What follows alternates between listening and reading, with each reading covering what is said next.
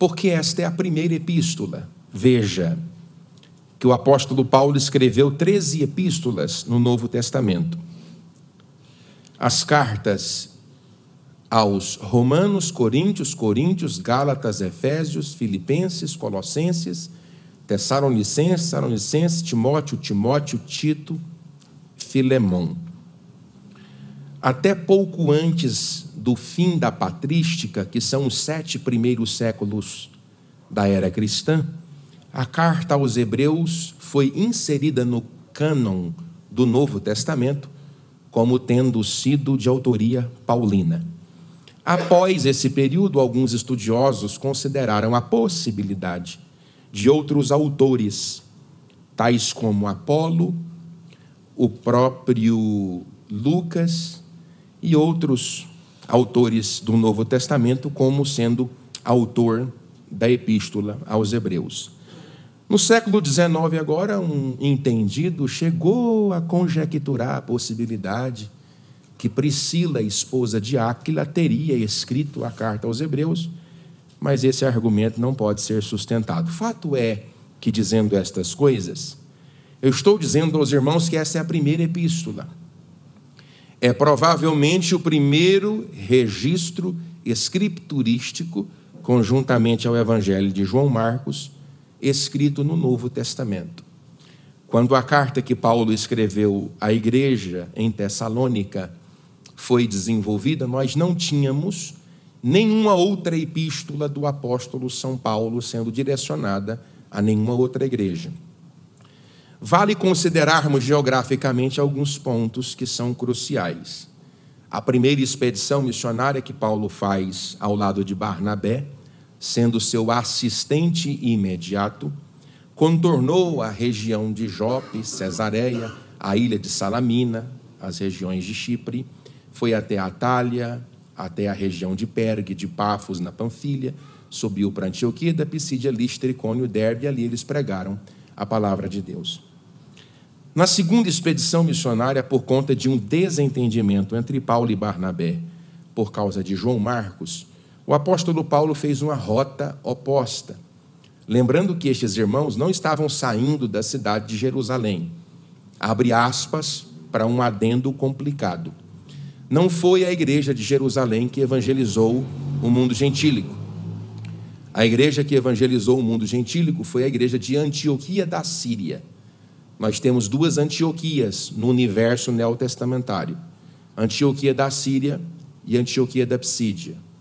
Antioquia da Síria fica na região da Síria e Antioquia da Psídia fica na região da Galácia do Sul.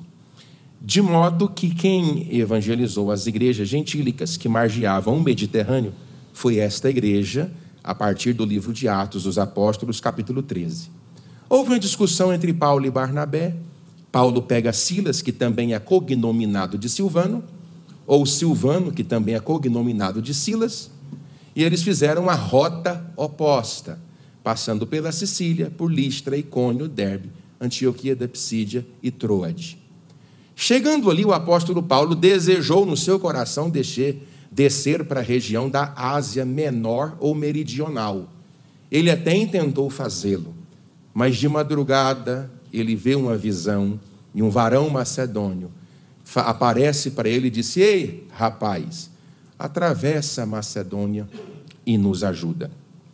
Ele cumpre esta visão, faz uma conexão portuária em Troade, ancora nas cidades de Filipos, de Apolônia, de Anfípolis, de Tessalônica e Bereia. Essa é a região greco-macedônica. É aqui que ele coloca os seus pés para pregar a palavra pela primeira vez. Quando você abre esta carta de Paulo aos Tessalonicenses, você precisa encontrar um embasamento histórico. Aonde é que está o embasamento histórico para esta epístola? Está lá no livro de Atos dos Apóstolos, narrado por Lucas, no capítulo 17. Todo o capítulo 17 é o desenrolar histórico do processo de fundação desta igreja. Atos dos Apóstolos, capítulo 17. Algumas verdades, antes de entrar no texto, eu preciso levantar com os irmãos. A primeira, Deus é quem direciona Paulo para uma direção diferente daquela que ele pretendia. Paulo pretende ir para a região da Ásia Menor, Deus pretende que Paulo vá para a região da Macedônia. Paulo tem o intento de caminhar entre os irmãos asiáticos, mas Deus tem o intento de fazer com que Paulo coloque os seus pés na região macedônia. É interessante nós considerarmos o fato de que neste tempo a região é chamada, mas hoje é praticamente a região da Europa. Quando Paulo coloca os seus pés ali para obedecer o que Deus estava falando, o evangelho se expande a partir daquele lugar para a região da África, da Ásia, da América do Norte, da América Latina, da Oceania, e a partir do trabalho realizado por Paulo ali, ele vai até os confins da terra. Então, às vezes, Deus quer me direcionar para um lado, eu quero ir para o outro. Entre fazer aquilo que Deus manda ou aquilo que eu desejo, eu preciso permanecer aonde Deus quer. Mas eu estou sendo desgastado, não importa. Mas eu estou sofrendo, isso não importa. O que importa é cumprirmos a vontade de Deus. O lugar melhor para estarmos é no propósito de Deus. Inclusive, Deus não anda protegendo muito as pessoas, Deus protege o seu propósito. Então, toda pessoa que está dentro do seu propósito é protegida por Deus por causa do propósito. Porque todo e qualquer indivíduo que abandona o propósito de Deus perde a sua proteção.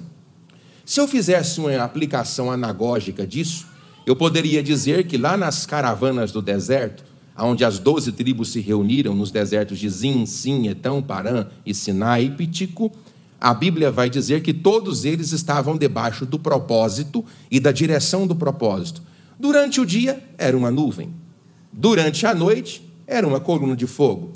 Eu quero a proteção de Deus, fique debaixo da nuvem durante o dia e debaixo do fogo durante a noite. Ah, mas eu não quero ficar no deserto, então arrisque sair no deserto sem nuvem e sem fogo para você ver. Deus não protege pessoas, Deus protege os seus propósitos. É importante estarmos debaixo do propósito de Deus, ainda que seja mergulhado no oceano, dentro do ventre de um peixe, no propósito de Deus, você está mais seguro do que caminhando rumo a Tarsis. Deus está levantando homens e mulheres que vivam o propósito. Você pode dizer glória a Deus? Segunda coisa, perseguições não barram o crescimento da obra de Deus. Paulo tinha sido preso em Filipos, Paulo foi expulso de Tessalônica, ele foi pregar na região da Bereia, foi expulso de Bereia, teve que ser imediatamente conduzido para Atenas, mas a obra de Deus cresceu, frutificou e permaneceu. Não adianta, não, irmão, o diabo pode levantar o que ele quiser levantar. Se Deus está no controle da obra, ela vai crescer e o nome de Jesus vai ser glorificado. Deus dá o crescimento, pastor Valderi, rápido e imediato. Eu fui aqui redundante, né? Hiperbólico, rápido, imediato. Mas foi porque Paulo foi três vezes na sinagoga. Era uma forma de Paulo ancorar-se na cidade de forma institucional, pedagógica e religiosa. Ele procurava uma sinagoga, ele era fariseu de fariseus. Aí na sinagoga ele contra-argumentava com a ideia dos rabinos daquela época, tentando fazê-los entender que a figura do Cristo era o prometido do Antigo Testamento. Ninguém melhor do que ele para fazer, porque ele era fariseu de fariseus. Então a sinagoga tinha a porta aberta, Paulo estava pregando. Três dias ele pregou lá, no primeiro sábado, no segundo sábado, no terceiro sábado. Quase morreu, foi expulso, foi para Bereia, em Bereia também quase morreu, eles perseguiram Paulo lá, mas a obra cresceu. Sabe por quê? Porque quando quando Deus tem propósito na sua vida, pode levantar o que for, Deus vai fazer cumprir para a glória do nome. Você pode dizer graças a Deus?